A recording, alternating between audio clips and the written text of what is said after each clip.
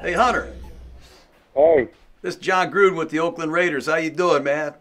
good. How are you doing? Hey, we just made a trade in the in the draft. We're going to make you a Raider. You, you you fired up about that? I'm fired up. Clemson. I like it. That's great, man. We're, we're killing it at Clemson, man. We're, we're, we're going to bring in Dabo Swinney next. I like it. That's gonna be awesome. Hey, congratulations, man. We got a great setup here. We've got uh, a great group of guys coming in this rookie class, and uh, we're, we're, we're on our way here. We just uh, got so much confidence in you as a football player. I just want to let you know we made it. We traded up in the fifth round to get you. Congratulations. I'm watching. I appreciate it, Coach. Thank you. I'm I'm looking forward to it. Good, man. I'm going to put you on the phone with Mike Mayock. Mike Mayock just swung a couple uh, deals here to get this done, and uh, our coaches are going nuts, man. Congratulations. Here's Mayock.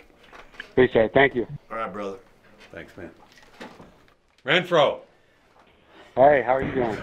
I- I'm hoping not as good as you right now because I'm doing great.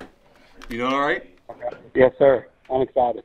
Listen, I've been tracking you since uh, before the national championship game a couple years ago when Alabama couldn't cover you. You remember that night?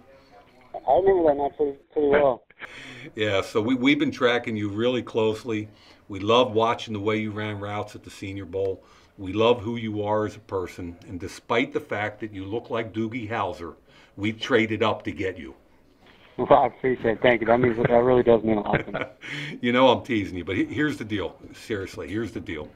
We're drafting all these Clemson guys, and we're drafting all these guys with high character that love ball, and you fit into that.